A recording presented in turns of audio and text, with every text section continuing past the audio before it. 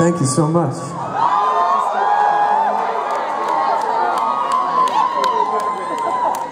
It's been almost five years since we've been to this town. It's been far too long.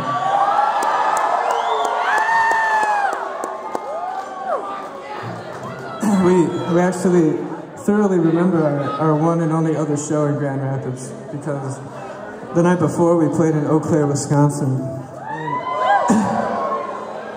Do you have passionate feelings about Eau Claire, Wisconsin?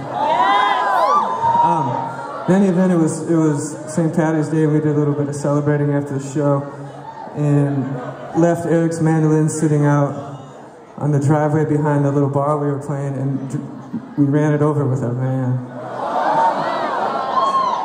And we were we were completely broke at the time, and, and had we scraped everything together that we had and bought Eric this really really shitty mandolin. And this was the first show that he had the pleasure of, of playing it was in the little room out there in this club. So